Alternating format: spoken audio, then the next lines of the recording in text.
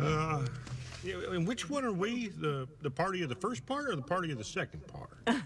The first part. But either way, it's a party. Speaking of which, can I get you a beer? You're a Lone Star man, right? Matter of fact, I am. George, she offered. I don't want to be rude. It's 11 a.m. Well, you just let me know and get you anything you want. We're fine, thank you. So you really think this invention of Sheldon's could be worth something?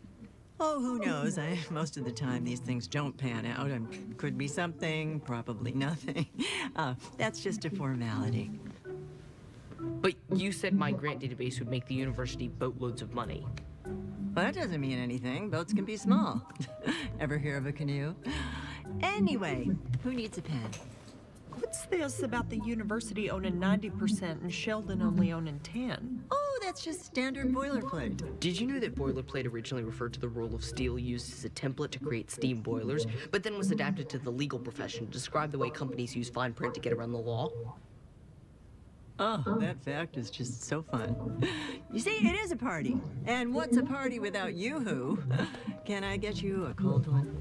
Yes, please. No, we want to make sure that Sheldon is being treated fairly. Yeah, maybe we should get our own lawyer and take a look at this before we sign anything. Can we afford a lawyer? Okay, we're, we're going to need some time and get back to you. Of course. You take all the time you need. You know, just because of all the nice things we've done for your son and for your family.